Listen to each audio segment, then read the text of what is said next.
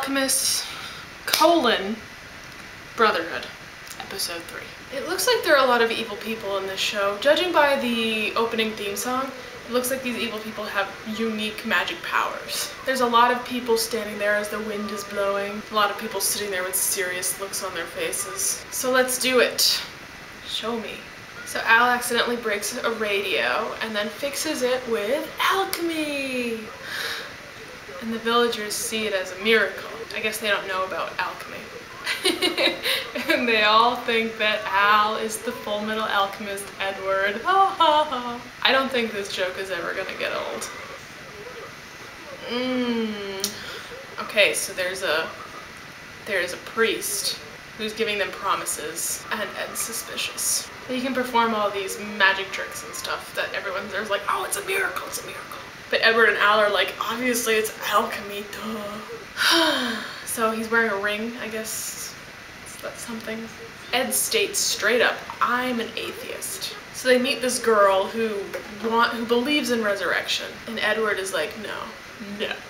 You don't even know how wrong you are. So it seems like Ed is trying pretty hard to change this girl's mind about God. I'm nervous about this girl's backstory.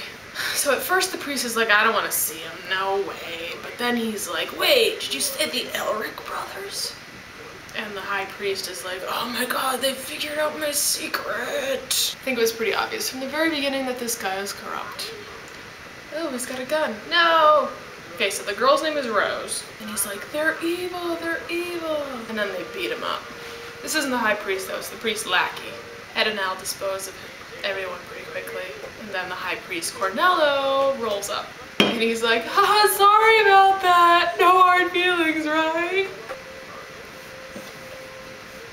Oh, so the ring he's got is the Philosopher's Stone, which they need so he tells Rose to pick up the gun and shoot Ed. But she's like? Well, this guy quickly became very corrupt. And her world's upside down because she loves God and she loves Cornello and she's like, no, I don't want to kill anyone. So I guess her, her boyfriend died recently, so Cornello promised he would bring him back to life. Ooh. So she shoots off Al's head but it's cool because Al's just a suit of armor, so it's, it's fine. what? So Cornello pulls a switch and this giant lion lizard comes out of nowhere. And he's like, it's the Chimera. Ed makes a spear to fight. With his metal limbs, he breaks the lion's claws and beats him up. I don't like what his wound looks like. So Cornello sees what they are. Uh, a soul without a body and someone who's like just part of a body. And he's like, oh, you tried human transmutation. Oh. And Ed's all like, Rose, if you want to bring your boyfriend back to life, then you gotta deal with this. oh, he just...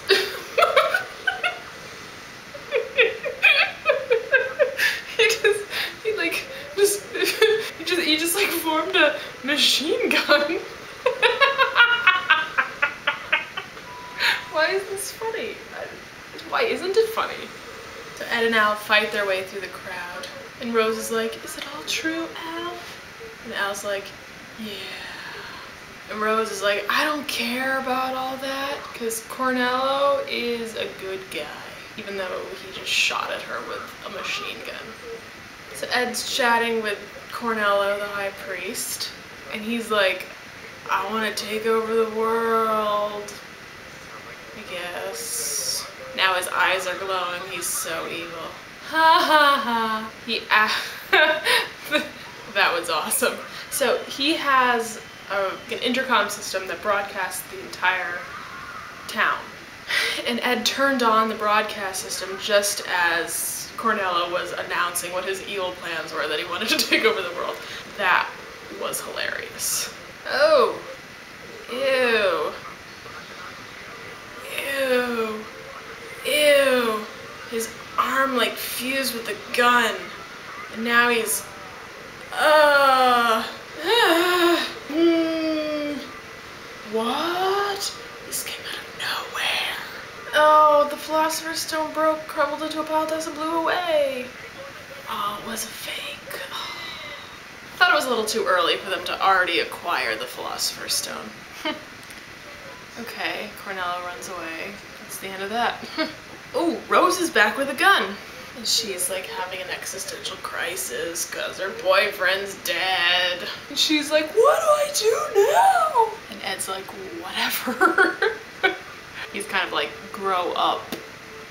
And now all the villagers are really pissed off because of, you know, that announcement that was made. Oh, and now it's the lady and the fat guy from the first episode. Ew. Ew. Ew. She just like extended her finger into his forehead and he died.